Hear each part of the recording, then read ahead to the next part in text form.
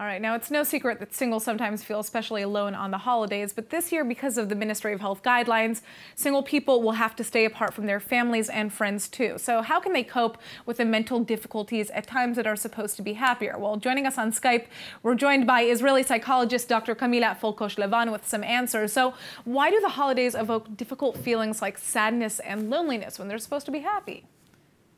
Uh, yes, so it, it's a big problem in general for many people because exactly what you mentioned, it's supposed to be happy and there's this expectation of uh, everyone's a couple and there's a family and almost like a cultural pressure in a way.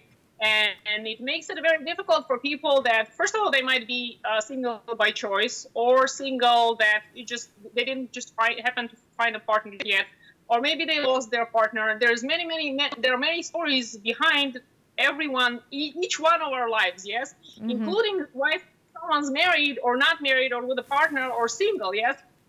But the, the sad or interesting thing is, is that when a single person comes into a group of people, including their own family, insular family, often the discussion is surrounded by why are you single in essence mm-hmm. and how are you especially in Israel.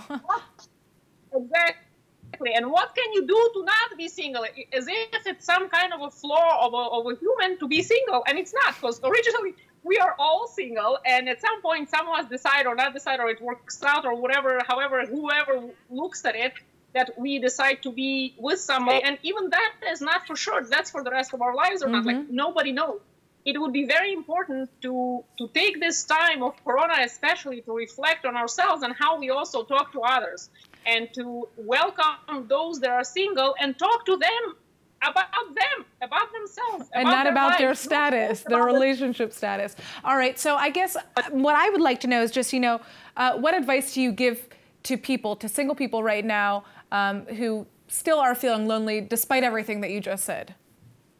I think it's very important to reach out to others. We have Zoom.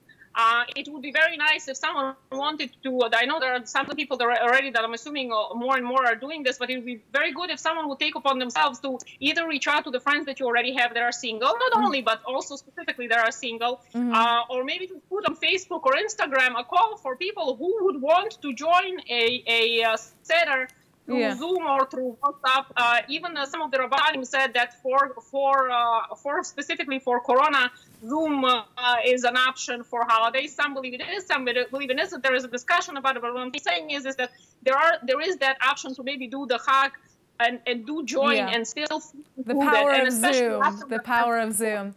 All right, Kamila, thank you so much for joining us, and everybody enjoy the holidays.